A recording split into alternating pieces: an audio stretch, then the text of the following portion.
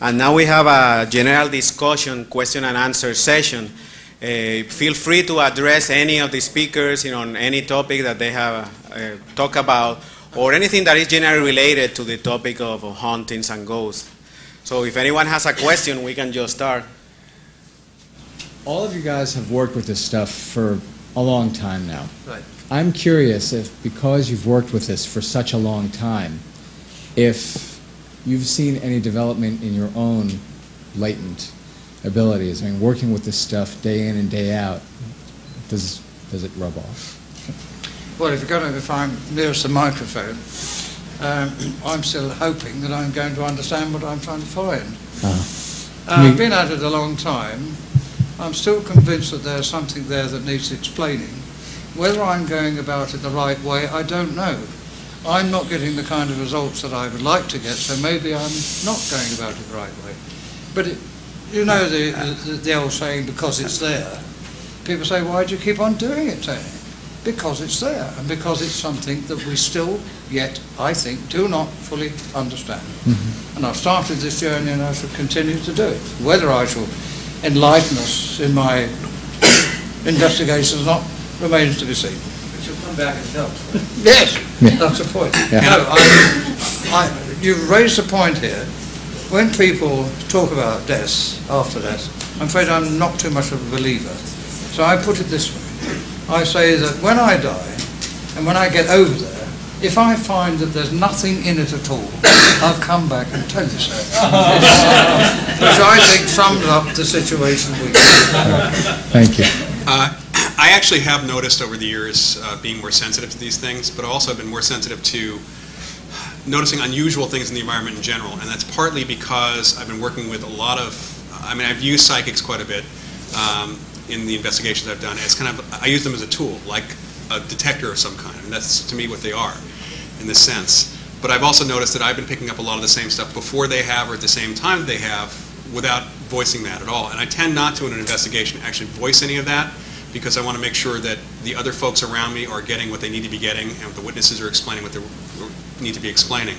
Um, I haven't still seen a ghost, but I've had my own personal encounters of other sensations, you might say, and these sorts of things. And I've certainly experienced the imprint type of uh, phenomena, and I've seen things, certainly seen things moving around that were physical that everybody in the room saw, uh, that we were able to, to deal with, and even we got on videotape in a couple of instances. So just the more you're, more I'm around it, uh, more fun I'm having with it. Yeah. Can I come back before Doctor? He's raised a point too. I've been with people who've seen an apparition, and I haven't seen it. And this raises a question, why are they more sensitive than I? That's, it's another thing, rather like you. I've Yeah. never seen a ghost yet, but I don't for one minute think or doubt that the people who've seen the ghost won't actually see it. They do exist. Just because I can't see it doesn't mean to say that it doesn't exist. It's a challenge if you're there and somebody else is seeing it and you're not. Why not? I don't expect it, but uh, uh, I'm a psychic as everybody without being a psychic or a medium. Uh, I remember in Dublin, uh, I was looking uh, at a house that uh, I'd heard had been haunted, and I knew nothing about it. But when I approached the house, it was a sort of a cottage. I heard people in there arguing about a about just arguing about a will. And uh, when I opened the door, there was nobody there.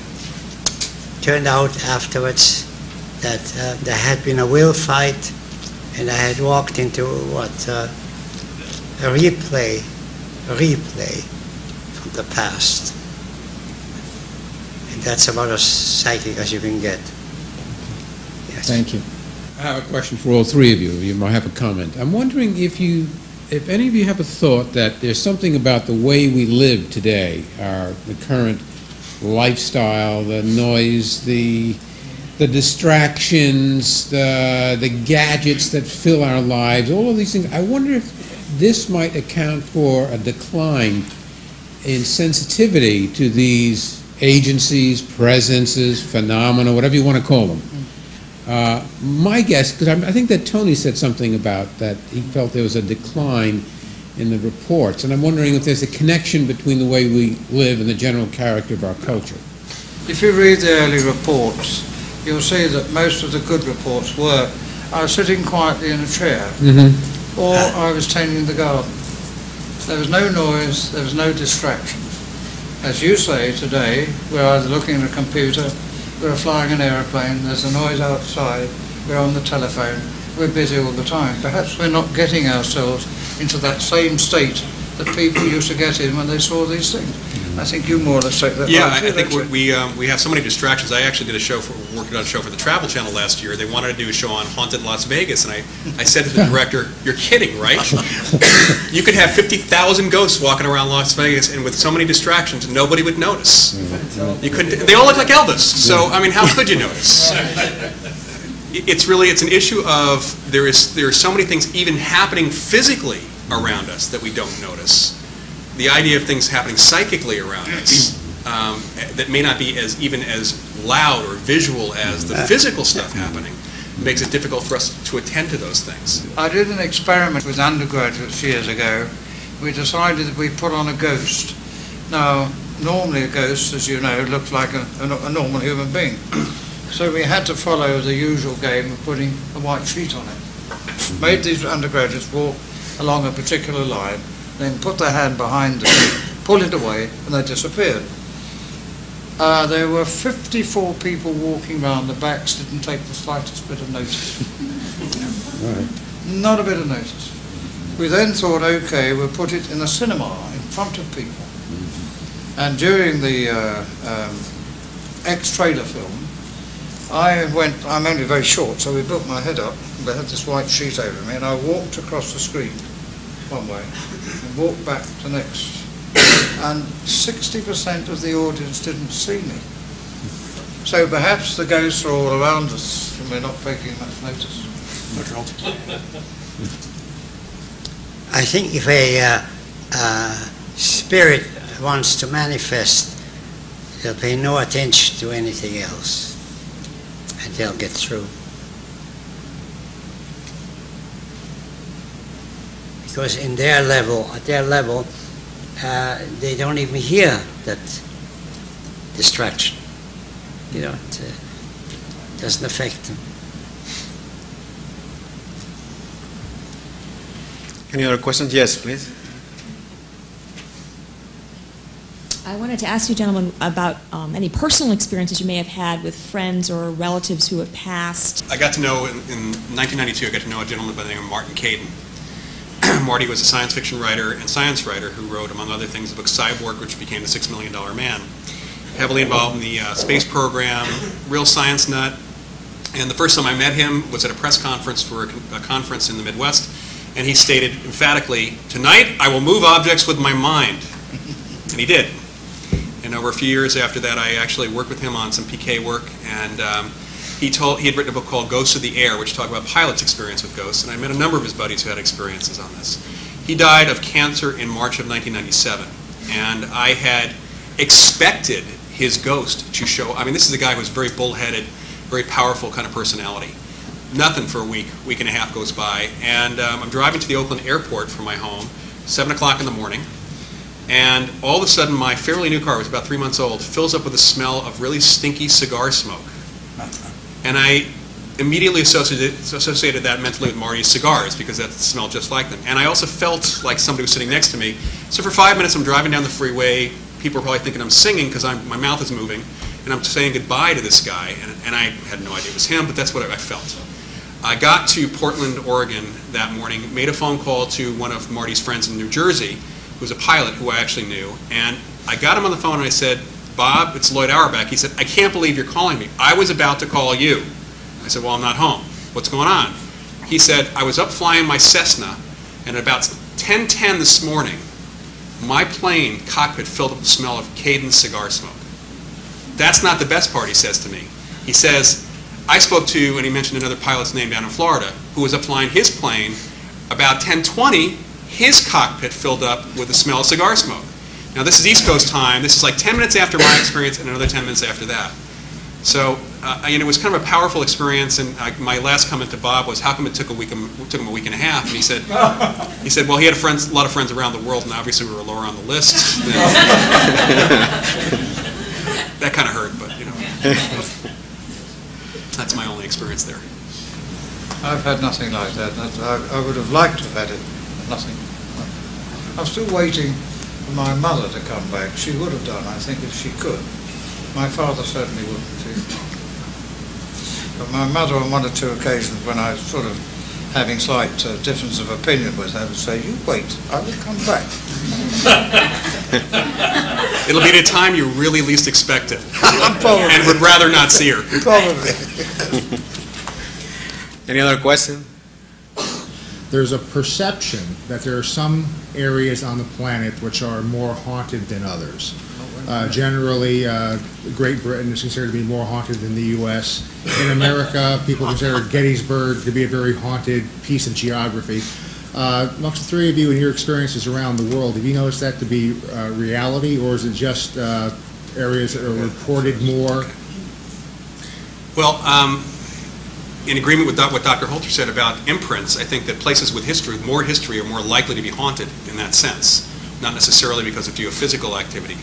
Um, Some of the studies of geomagnetics seem to indicate that fluctuations in the magnetic field on a local level could affect people's psychic perceptions, and perhaps that's what's going on. Uh, It's hard to know whether pumping up the energy is going to make people more psychic and perceptive or less, whether it gives energy to that imprint, if that's what's going on. In other words, it may actually power the VCR that allows you to see what's going on.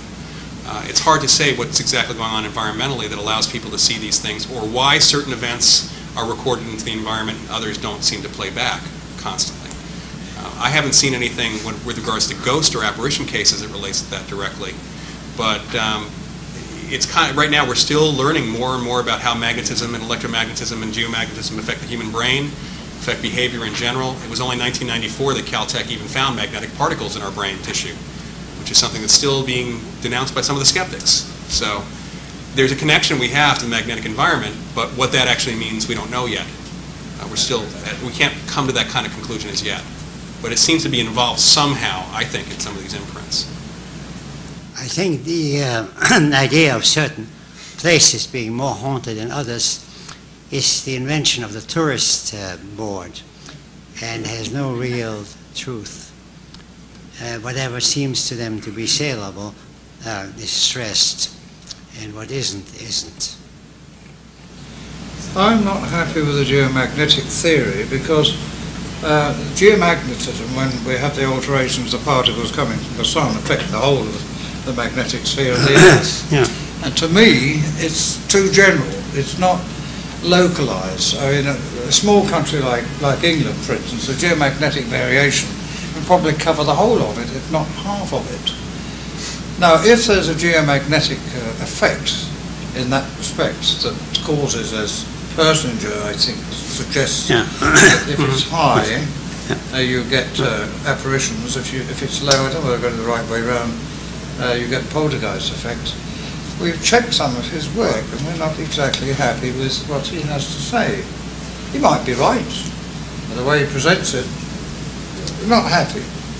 And not only that, from my personal point of view, I should have thought that it should have affected a lot more people than it does. If it's covering a large area of the country, then perhaps more people should be seeing apparitions than are reported. That's that one. But on the other hand, I think we must uh, have a look at the possible effect of geomagnetic uh, effects because there's some interesting results coming from stuff you said and also one or two we've one or two cases we've had in England suggest that there are localized magnetic variations. I'm not happy with it, but on the other hand, we still don't understand the effects uh, of apparitions. We don't know how they occur fully. There are some theories, okay, but I think it was looking at in much greater detail.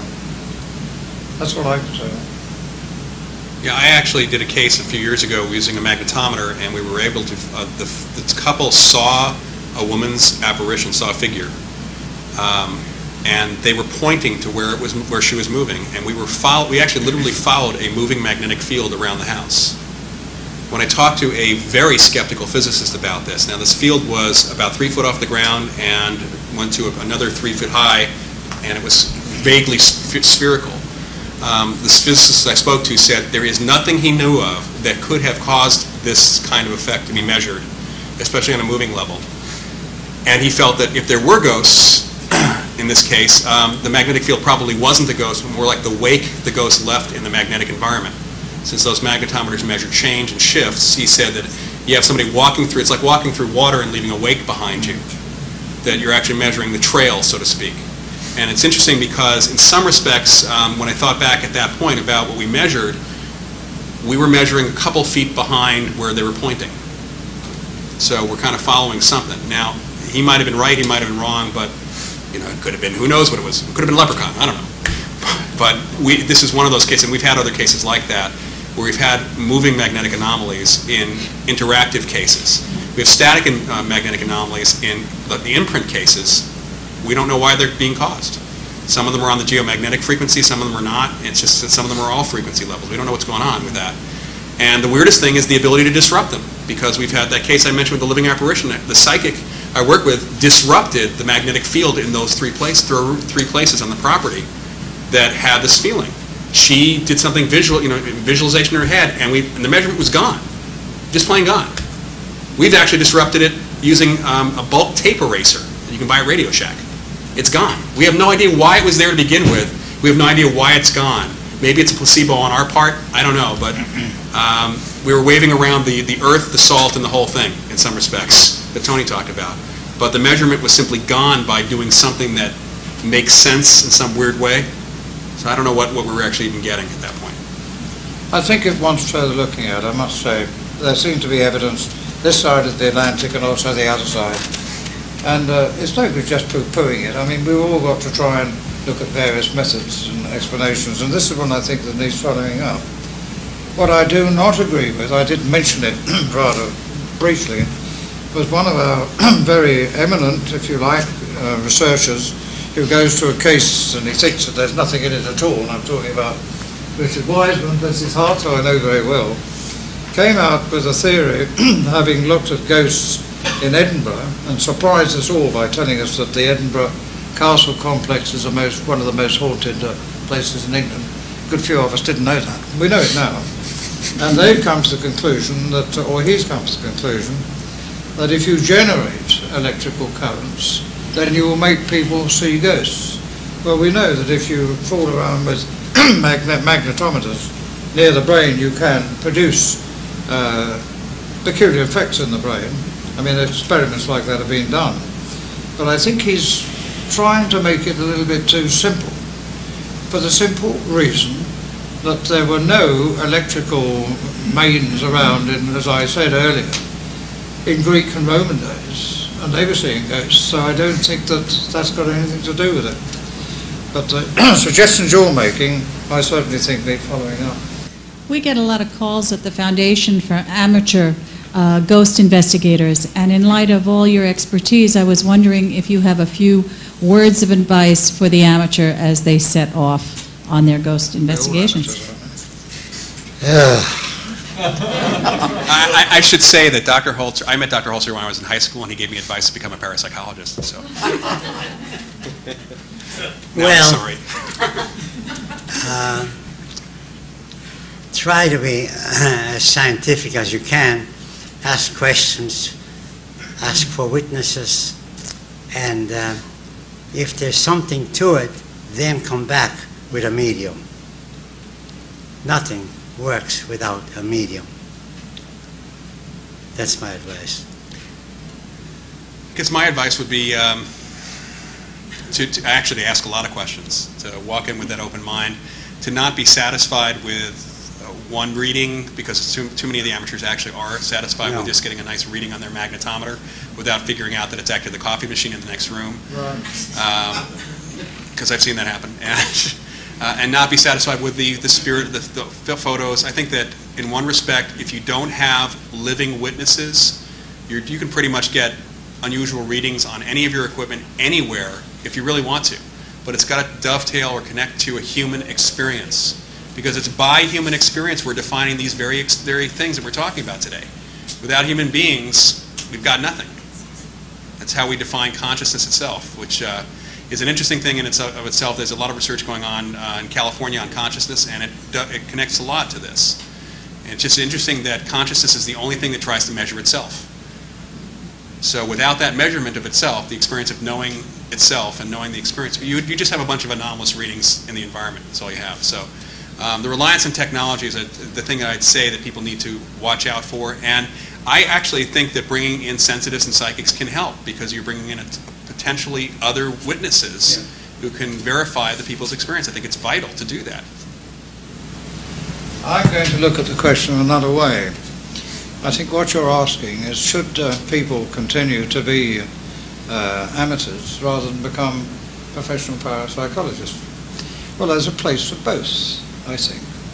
The only problem that we've come across in the Society for Psychical Research when we're giving out grants, and also the experience that we've had in Cambridge amongst one or two professional parapsychologists, are that there is a great temptation, perhaps, perhaps, I emphasize, perhaps, to exaggerate your results, because if you don't exaggerate results, you're not going to get results in the, in, in the laboratory by the look of it. And if you don't get results, you're not going to get grants.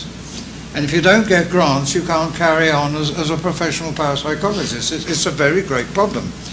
We had one gentleman who was well known in the field at the time, and I'm not going to mention his name, it would be wrong to do so because it's all over and done with.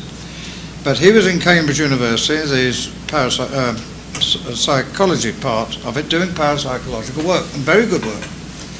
He's getting exceptionally good results, much higher results than anybody else. And we were worried about this. In fact, we were asked by one or two quite prominent American parapsychologists to look into his work. And we looked into it because the results were so consistent that they didn't tie up with anybody else's. Frankly, we couldn't find anything wrong with his work. His randomization procedure was perfectly all right. But there is that temptation, and I think there is the place for the amateur. But of course, in this field, it really is so controversial that can you say that anybody who's interested in this is a true amateur? You've got to have a knowledge of science, you've got to have a knowledge of human nature. Basically, I think what you need more than anything else is common sense. The amateur also, I think, uh, can in a way stand back and look at it all. He's not committed to it. The parapsychologist professional is committed to it. And if he doesn't get results, there's no living. And there isn't a great deal of money about either this side of the Atlantic or the other side of the Atlantic these days for professional work. I mean, uh, Bob Morris in Edinburgh is doing quite well, but he's always got financial problems. We know those. I know Bob extremely well. The SPR in London's got financial problems. I know that the American SPR has got financial problems. Uh, in Europe, uh, there isn't the kind of money being put into the subject. So there is a place for the amateur. But the amateur must, I think, be very careful in the way he approaches it. He's got to have, as you've said, and we've all said, an open mind. He's got to have a knowledge of science, he's got to uh, have a knowledge of human beings, and he's got to be very careful with his results. He should read up all the background. There's a, a wealth of material in various libraries that he should read and see what people have done in the past and follow their line. So I'm all for the amateur, but an amateur that has to be careful with what he does. At the very least, read something about parapsychology, because so many of the amateurs I get, get uh, emails from, they get all their information from other amateur groups on the internet. And Yeah. it's very frightening. They don't even, I mean, some of them don't even know um, anything about research in parapsychology. They know nothing about what's gone on before in ghost investigations, nothing whatsoever. They haven't even read, read Dr. Holzer's books, which I find, frankly, that's kind of bizarre, because Dr. Holzer's books are, are easy to find. They're very easy to find, and they're very good books. So that, it worries me significantly when I find that happening. This uh, closes the discussion period. And now to finish the activities of today, our Executive Director, the- Lisette Coly, is going to have some final comments. Thanks. Well, it's my task to very unhappily bring this forum to a close. I would very much like to thank our speakers, Tony Cornell, Dr. Hans Holzer, and Loyd Auerbach, and of course our moderator, Dr. Alvarado, who shared with us so eloquently, I'm sure you'll agree, their expertise in this fascinating area.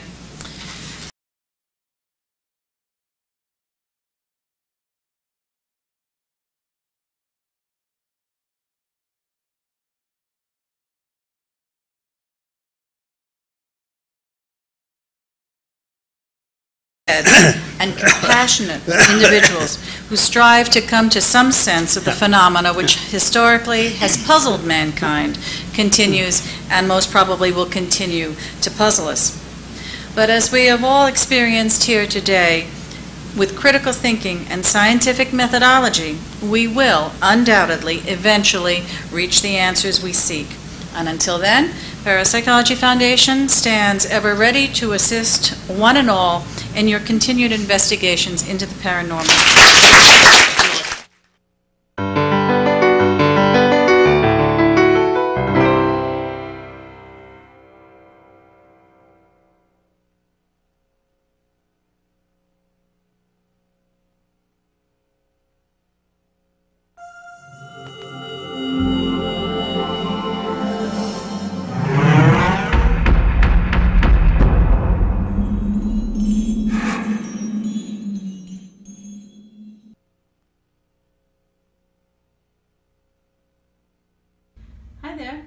You enjoyed today's selection.